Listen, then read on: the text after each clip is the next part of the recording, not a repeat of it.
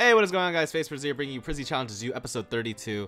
Uh, I know you guys said you wanted to like have different maps, so after this week, I'm gonna probably do like MW2 or MW3 or something like that. The reason why I don't do new uh, games like those games is because it's so much easier for you guys to get like bots as dummies instead of actually having to get people to dummy for you. So I just wanted to make it easy on you guys. But if you guys want different games, then just leave in the comments and I will, you know, do it. But yeah, coming at number three, we got xLudicrous with that six shot. We got cmen 666, and at number one we have Marrow 50 cal. Uh, all people that I usually see winning my series anyways, like you guys have been killing it lately. Uh, except for Marrow, you're like a first time guy. I haven't seen you win. So congrats to you for getting the first place shot. Sick. Uh, I don't know. I really like the shot a lot. I think it looks really nice. So yeah, congrats to you. Uh, this week's spot is on Uplink.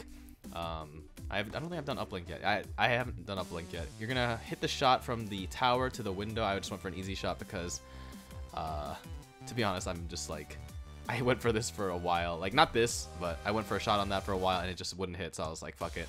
Just went for a scope, OGK style. But anyways, send your responses for next week, PryZeeChallengesYou at yahoo.com. Unlisted and public links only, please. And I've been getting some comments like, oh, I hit a shot better than this, but it didn't get in.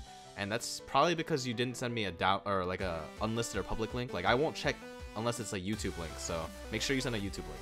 Love you guys, and I will talk to you in the next one. Peace out.